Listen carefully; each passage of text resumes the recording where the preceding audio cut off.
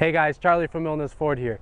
Milnes Ford is Michigan's lease return headquarters. So if you have 12 or less payments remaining in your current lease, please stop in see us today. If you're trying to upgrade your vehicle, lower your payment, vehicle just doesn't fit your needs anymore, let us know. We'll help you out. It takes about 15, 20 minutes to get you qualified.